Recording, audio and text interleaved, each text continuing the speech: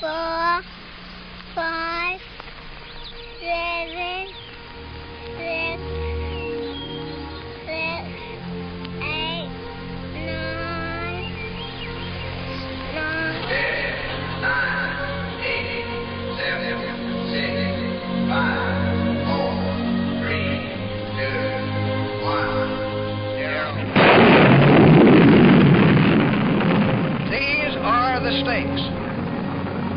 a world in which all of God's children can live or to go into the dark.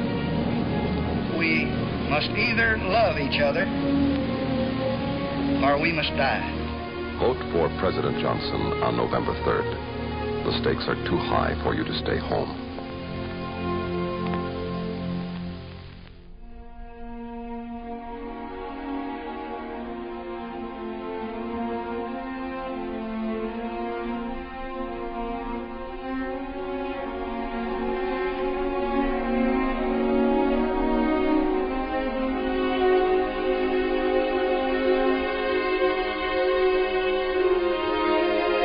thank you.